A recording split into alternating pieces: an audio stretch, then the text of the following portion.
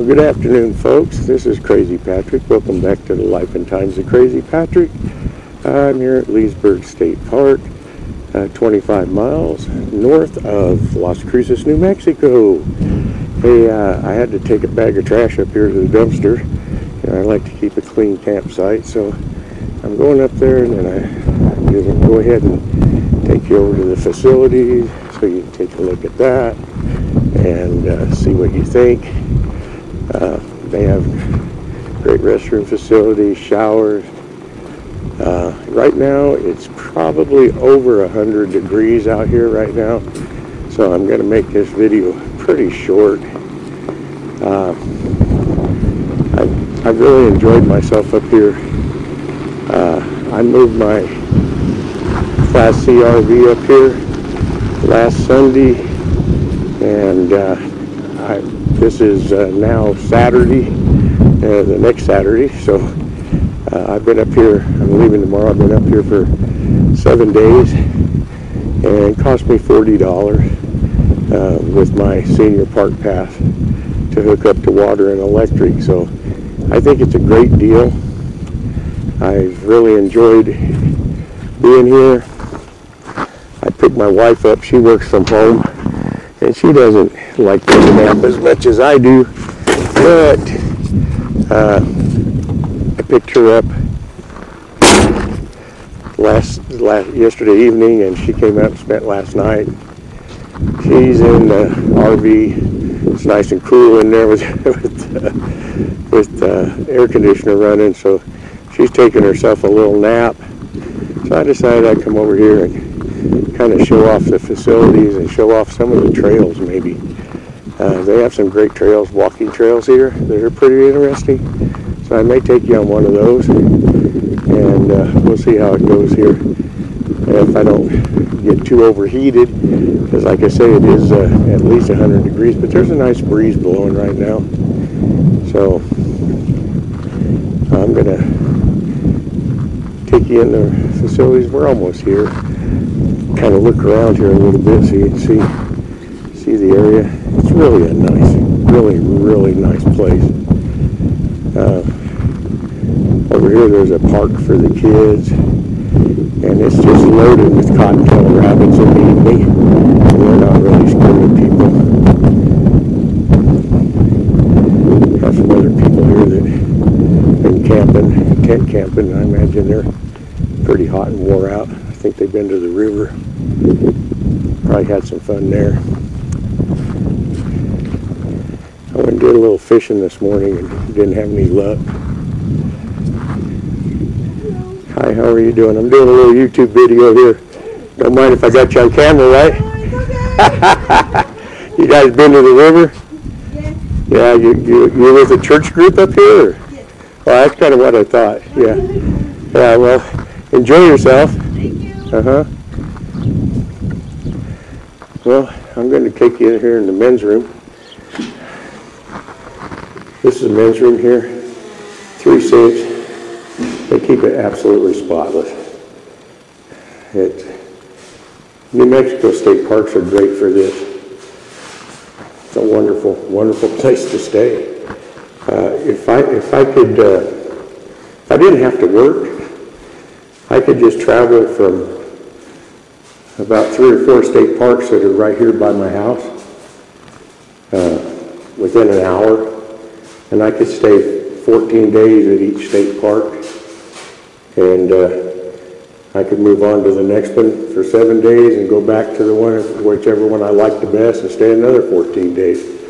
And uh, at $4 a night, that's pretty cheap rent. Those are the restroom facilities, folks. So now I'm going to walk you over here. One of the trails starts right over here.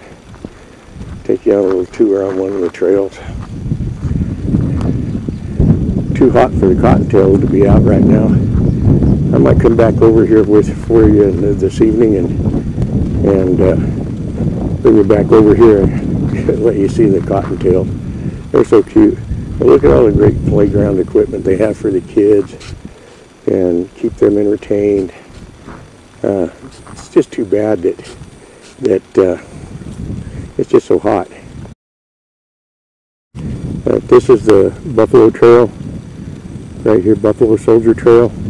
And they ask you to please stay on the trail. Bring plenty of water. It is really hot, so I'm not going to go very far here.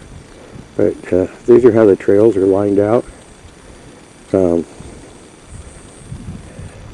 they're even set up so if you wanted to come out here, if it wasn't so hot, you could come out here and have a barbecue. Have a barbecue grill here. Got some tables. You could have a picnic. Uh, this trail goes quite a ways back down here. Uh, this is kind of kind of entertaining, uh, kind of cool over here.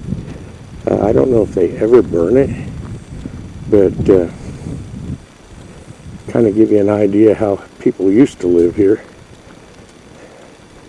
This is an oven that uh, I don't know when it was built. Uh, you can tell they have used it, but uh, they used to bake bread, everything in there.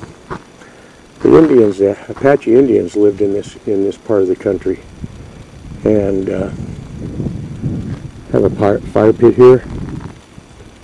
Pretty cool. Apache Indians lived here, and uh, it's amazing, you know, they, they could live in this desert and survive. You wouldn't think there's a lot of food out here, but there really is. You know, there's snakes, there's rabbits, there's uh, there's uh, mesquite that, that has uh, these bean pods on there, and they would uh, grind those mesquite beans up into kind of a flour, and uh, they make bread out of that. Uh, they also make a, made a drink out of it that was supposed to be really good. The mesquite beans are real sweet. They have a, a real sweet uh, sugar content.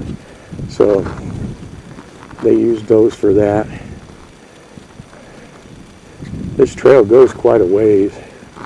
I've actually cut across before. You kind of have to be careful of snakes out here. You could run across a rattlesnake. At night, there are scorpions. Uh, I have a black light that I've uh, taken out at night, a little, little flashlight with a black light on it and it, you can see the scorpions. They they light up uh, pure white, and uh, I found a couple the other night. Kind of played with them a little bit. You have to be careful so you don't get stung. It's not a big deal. But this is a Buffalo Soldier Trail. But you can walk all around here. There's a Mogollon Trail that'll take you right down, uh, you can go down all the way and cross cross a bridge and, and get down to the day use area down by the river and go fishing if you want to walk that far. I'm kind of I'm kind of lazy that way, you know. I don't walk that far. Most of the signs they have out here on this trail are you're not going to be able to read them. I don't. They're they're so faded out. They need to redo these signs. It's it's a shame that they haven't already but uh, they might need some funding or something. But it tells you, you know, about the desert life. Uh, it tells you about the history of the area and uh, people that lived here. So, I'm going to keep going this way. Uh, I think I'll end this video now. I think you've seen enough of this trail, but there's there's so many trails around here, different names, and uh, they're all they're all marked out like this and lined. So you, you can definitely see the trail. And uh, I just wanted to give you a little sh little shot of the park here. Just to kind of the surroundings. You can see over there, that's the cactus loop that I'm staying on over here. You see the, they all have a, uh, a covered area and uh, have picnic tables, grills, water and electric. And again, like I say, with my with my senior park pass, it's only four dollars a night for water and electric. So uh, without the senior park pass, uh, uh, seven days would have cost me ninety-eight dollars. With the park pass, it was forty. So you really can't beat that. Um, I'm going to do a little. I'm going to make some uh, beef fajitas this evening, and I might give you, might might get you in on that. And let me. I'll show you how I make my beef fajitas and I'll show you my little tricks and secrets to that. But I'm going to go ahead and end this video now. So again, I'm going to say, uh, I'll catch you on the flip-flop.